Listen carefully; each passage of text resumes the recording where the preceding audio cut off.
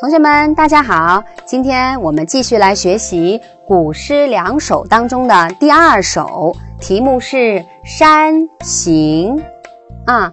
我们在山间行走，来看看有怎么样的风景呢？好，在欣赏古诗之前，我们先来学习一下这位作者的生平经历，还有他的一些著名过人之处。杜牧。也就是《山行》的作者，字牧之，号樊川居士。你看他的名字啊，他的字号也是特别的雅致。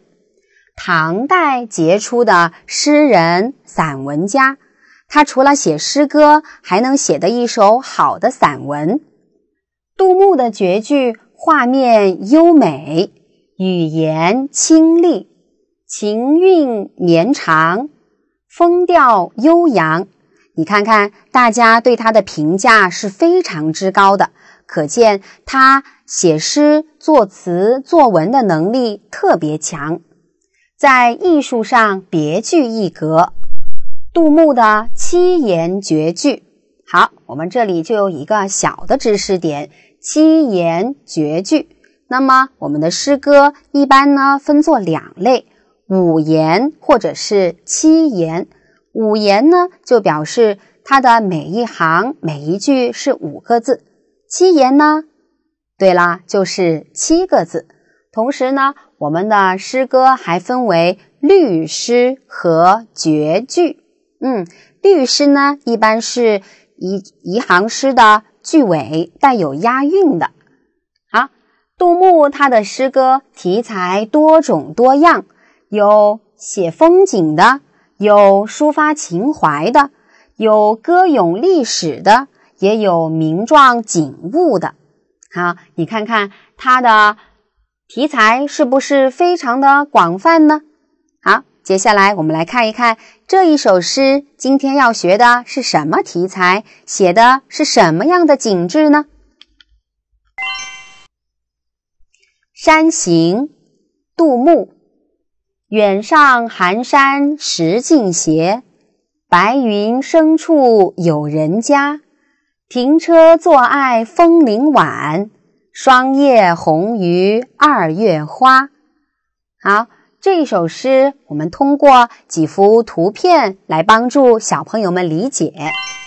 我们先来看一看，理解之前把生字给一一的攻破，这样学习古诗就没有问题啦。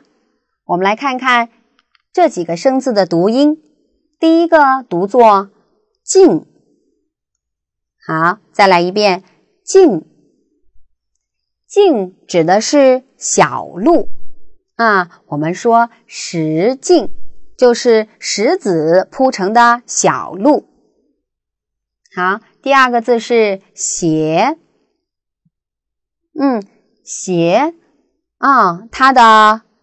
反义字就是正啊，正的、斜着的啊。我们说石子铺的小路是斜着铺的，特别有意境。好，后面这个是枫，嗯，这个我们学过，红红的枫叶啊。最后一个是雨。啊，我们数学课上面经常说等于多少呀？啊，三加二等于多少呀？嗯，就是这个“鱼”字。好，我们生字看完了，接下来就要学习课文啦。好，看看诗句的第一句，他说：“远上寒山石径斜。”我们看这里有连绵的山峰。啊，山峰的远处啊，还有一些云雾缭绕。那里呢，嗯，气候比较严寒。我们看看，要走到这些山峰上去呀，路程是远还是近呢？哦，比较远。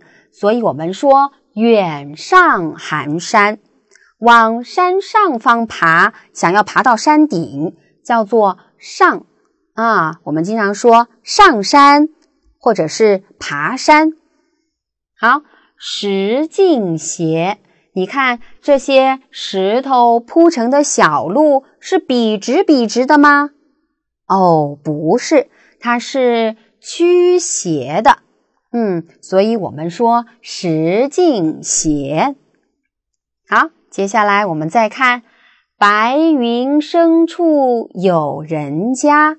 啊，我们沿着蜿蜒的石径走到了深山里面。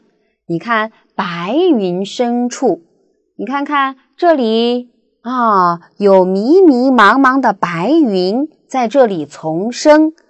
这个地方呢，啊，有一户人家啊，也就是有人居住在这儿，所以我们说白云深处有人家。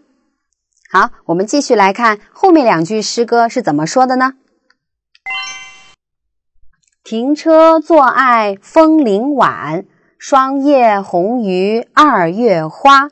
好，我们来看一看图片啊。我们看诗人他驾着他的马车，沿着弯弯曲曲的石径，啊，想要赶往白云深处的那一户人家。突然呢，他看到了这一丛丛、一簇簇漂亮的枫叶。红红的枫叶，于是他停下了马车，静静地坐在这枫林当中，一直到了很晚。所以，我们说“停车坐爱枫林晚，霜叶红于二月花”这一句应该非常好理解。霜叶，那么为什么我们叫霜叶呢？嗯，这里啊就有一个小小的自然知识。你看，枫叶红了的时候，表明是什么季节到了？哦，是秋季到了。到了秋天，早晨和晚上的气温呢相差比较大。嗯，这里的相差指的是相差于白天。那么，诗人刚刚。在枫林当中，被这迷人的景色给迷住了，于是，在马车上静静地欣赏这样的风景。不知不觉，已经到了傍晚，太阳下山的时候了。那么，这些枫叶上面呢，啊，水珠就凝结成了霜花，所以这里诗人说霜叶。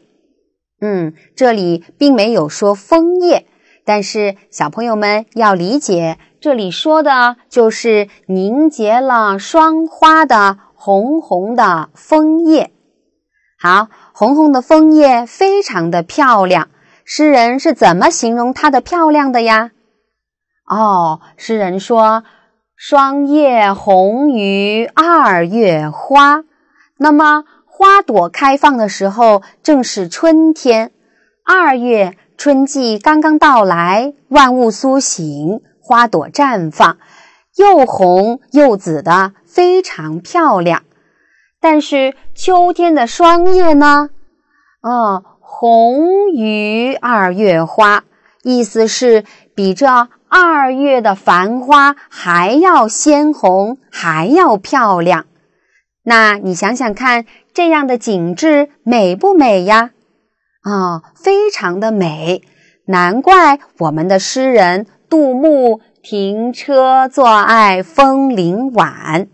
嗯，驾着他的马车停在这红红的枫林当中，一直到了很晚的时候。好，这就是我们今天所学的山行。山行当中讲了好几句美丽的景致，你还记得吗？嗯，请小朋友们在家要多多的复习，反复的朗诵诗歌，这样读得朗朗上口，我们就能自然而然的记在心里，记在脑袋里。这样下次我们问起来的时候你就能流利的背诵诗歌啦。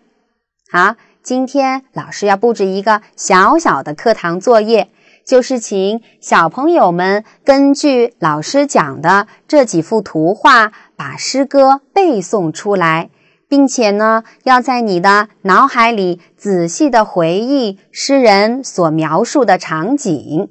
你能做到吗？嗯好。那做到这些我们下堂课再见喽